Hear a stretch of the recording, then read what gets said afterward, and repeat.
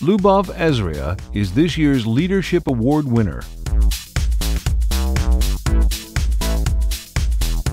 Every single day of my life, um, I wake up and the first thought that enters my mind is how can I make it better? And um, I think that's what drives me. That's what drives me every single day to, to do my best, to hopefully inspire others. Um, you know, in fashion industry, each day is never the same. You know, we're always learning, evolving, changing, planning. So I think how can I make it better? Chief Creative Officer of BCBG Max Azria Group. She leads a team of nearly 200 designers, pattern makers, and associates, and along with her husband, Max Azria, oversees three global brands BCBG Max Azria, Max Azria, and Hervé Leger. One of the most inspiring person in my life is my husband Max. He's been my idol, he's been, you know, my best friend, um, the love of my life, and definitely in business a mentor. Born in the Ukraine, Lubov danced with the youth division of the world-renowned Bolshoi Ballet. I think what I take uh, from my training as a ballerina is discipline. I think when you're a dancer, you're very disciplined, and um, that in business is extremely important. That means consistency, always reaching your best. Today, under Lubov's leadership, BCBG is synonymous with red carpet glamour and impeccable craftsmanship. This leadership award means a lot to me. It's, um, it means that I'm being recognized by my peers.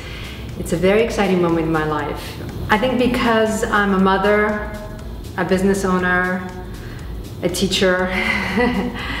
you know, it's all the things that any woman can do. Perhaps I do it differently than other people, and um, I think I would be inspirational to other people because I'm always positive and always wanting to make things better and always looking for a brighter day.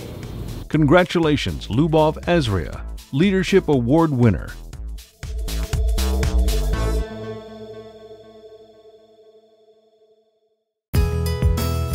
This year's Legacy Award winner is Frieda Rapoport Caplan, otherwise known as the Queen of Kiwi. The Legacy Award means to me, now that I'm 88, that I've been around a long time, but I've been participated in NAWBO for many, many years. As founder and chairman of the board of Frieda's Incorporated, the first woman owned and operated wholesale produce company in the U.S., she was responsible for introducing the exotic fruit to the United States. Frieda's as a company has changed the way America eats and has introduced them to the importance of fresh fruits and vegetables and experimenting with exotic fruits and vegetables like kiwi fruit and spaghetti squash, sugar snap peas and habanero chilies. These are the things that will make food even more exciting and more healthful. A pioneer in the male dominated produce business, she was the first recipient of the Harriet Alger Award from Working Women magazine, and in 2012 marks her 50th fruitful year in the business. NAWBO has been a tremendous support to me because how it has trained my daughter, Karen Caplan. Her talents rose when she became a vice president and then a president of NAWBO many years ago, so that has been a wonderful contribution to Frieda's Incorporated. She's thrilled her granddaughter has joined the business, making her the third generation of Caplan women at Frieda's Incorporated. My granddaughter joining us has been one of the most exciting things.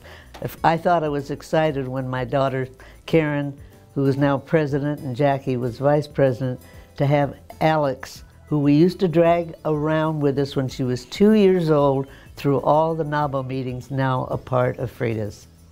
The whole mode of Frieda's is always to operate with an open door, so we're always welcoming new people and encouraging young people to participate in organizations like NAWBO. Congratulations, Frieda Rapoport Caplan, Legacy Award winner.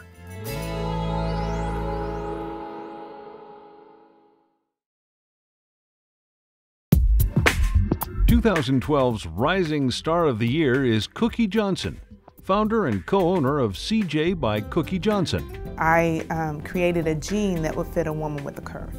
And so it's, it's something that's different and it's something that uh, addresses most of our women, I think most of the women in the world, because most of us have a curve. And um, so the demographic, demographic is a little bigger than what the other premium denims target. Hailing from Rocket City, Alabama, home of NASA's space camp, Cookie graduated from Michigan State University, went to work in the fashion industry, quickly working her way up to buyer. After marrying Earvin Magic Johnson and raising a family, Cookie came out of retirement to create a line of premium denim for women with curves. The results were nothing short of spectacular. The reason I decided to do this company is because I went out looking for a pair of jeans and I could not find a pair to fit my body, my body type. You know, they they were never, it was never enough room in the thighs, was never enough room in the hips, um, and, and, no matter how much weight I lost, it's just uh, it's it's about a, a, a shape. You know, it's about like you could be a size four and still have a shape where you have, you know, a bottom, you have, you could be athletic and have thighs, and you can't fit into these jeans because they're designed for that wafy body type. Uh, and so watching women walk around and I can tell that they, you know, didn't, couldn't, wasn't able to participate in this whole lifestyle denim world that, that has, you know, evolved in the past, what, 15 years um, and it, it continues on. I just didn't think it was fair. Today, along with being a successful businesswoman, Cookie is a philanthropist, children's advocate, and spokesperson for women's health. One thing that inspires me is, is God. And God, I, I, use God to give me strength and He helps to give me direction to go forth. And usually, if I put Him first, then all other things fall into place. And um, for those of you out there, um, just find something that you're passionate about. Um, and if you're passionate about it, you, it'll cause you to work hard. And, and if you believe and if you act, you know, then believe and act on your miracle like you already have it. And if you, you know, if your philosophy is that way, then you will eventually get that miracle. And it'll be bigger than anything you ever imagined. Congratulations, Cookie Johnson, Rising Star of the Year.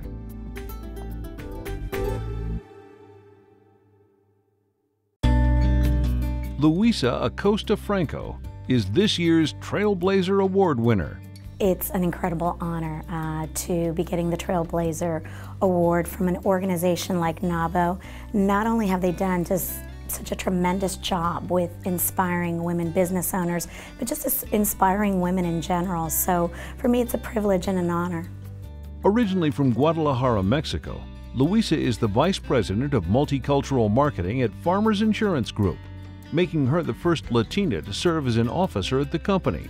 At Farmers, I have the privilege of working with our 15,000 agents across the country, and the way that I've helped open new doors for them is through the programs that I've developed along with our team at Farmers for those folks that want to serve the multicultural markets.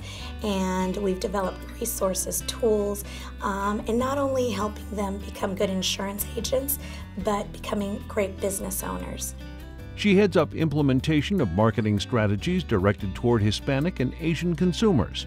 She also oversees the development of in language materials for agency and consumer distribution. Corporate America um, can be very difficult, I'm not going to lie. Especially, you know, it's, it's been a man's world. No offense to the gentleman, but it has.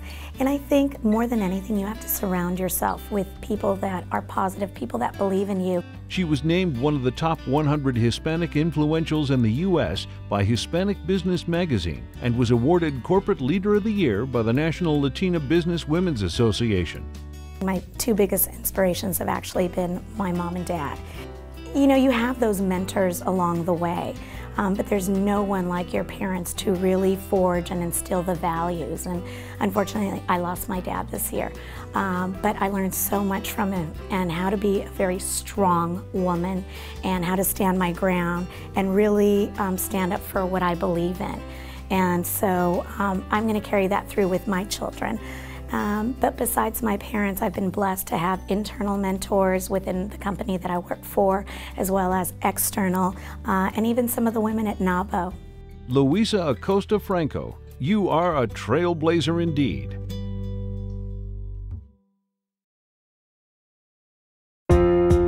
This year's Hall of Fame inductee is Patricia Watts, President and CEO of FCI Management Consultants. Oh, I am so excited to be a part of such uh, esteemed uh, entrepreneurial women. Uh, I'm excited and humbled that NAWBO would induct me into their Hall of Fame. And uh, it's just an immense sense of pride for me to feel that I have earned this honor an energy and utility consulting company, FCI is also a certified woman owned minority corporation with headquarters in Long Beach, California, and additional offices in San Diego and New York. A graduate of the Tuck School of Business at Dartmouth College, Patricia spent 24 years honing her electric utility industry knowledge at Southern California Edison, where she held a variety of management positions. I hope every day the way I carry myself the way I conduct my business and how I represent my business is an inspiration to other women. Uh, it's not easy, but uh, it's not impossible. And so I hope that I can show them that the courage to dream big and to live and go after their dreams. I hope that's what I can do for other women. She is also a multi-award winner and was a semi-finalist for the prestigious Ernst & Young Entrepreneur of the Year Award in 2011. I think the most important uh, thing that NAWBO has done for me is shown me very uh, inspirational women who have been successful in their businesses and given a forum for which we can share uh, some of our business challenges and opportunities. She is committed to her community and serves on several boards both in the city of Los Angeles and the state of California. If you have a dream and you have a vision, don't be afraid of it. To step out on faith and believe in yourself, and the success will be there. Congratulations, Patricia Watts, this year's Hall of Fame inductee.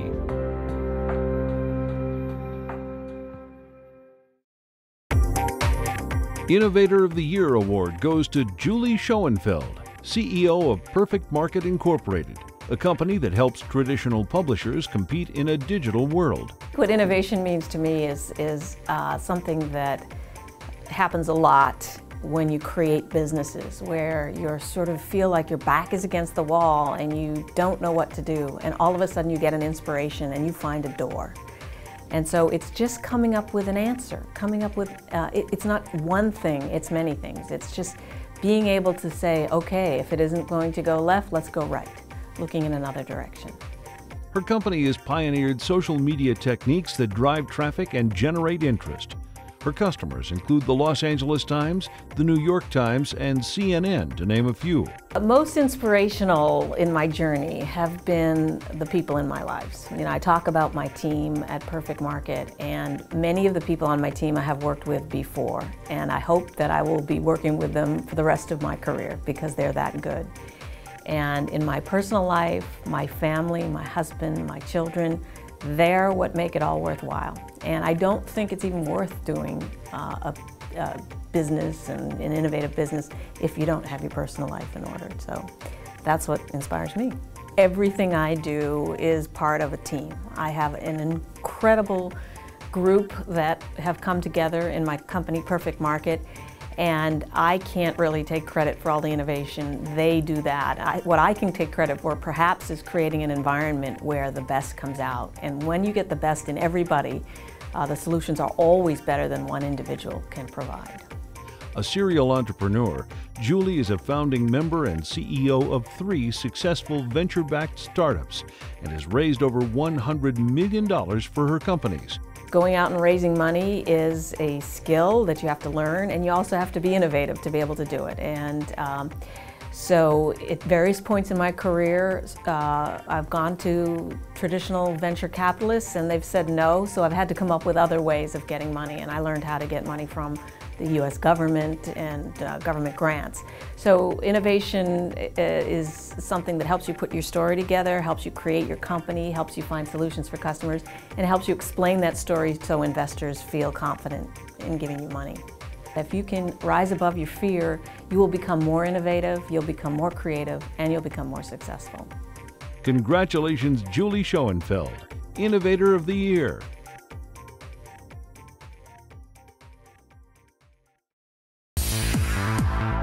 Senior Vice President and Head of Community Development for the LA Metro Region at Wells Fargo, Byron K. Reed is this year's Diversity Champion Award winner. NAWBO is a phenomenal organization. They do great work.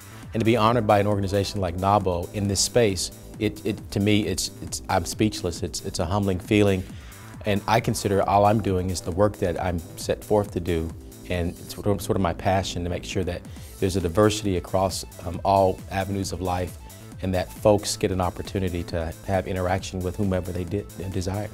NAWBO has been a great support to my endeavor.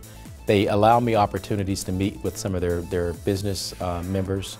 Um, that business member um, portfolio allows us opportunity, us being Wells Fargo, the opportunity to see what their financial needs might be. A graduate of the University of Oklahoma, Byron is in charge of Wells Fargo's program to provide investments and loans for community development and low-income housing. Coming from a very, very strong mothering um, background from my mother, um, I've always um, honored and respected women, and that is a top priority in my life to make sure that it's level set, regardless of, of sex or orientation or what have you, to make sure that people are given a fair shot. I had a friend whose father was a banker, and I was inspired by the work that he did. Um, that allowed me to see banking as a career, because I had not yet identified a career at that point in time. So that inspiration that I received from my friend's father allowed me to sit here 30 years later in this banking seat, basically.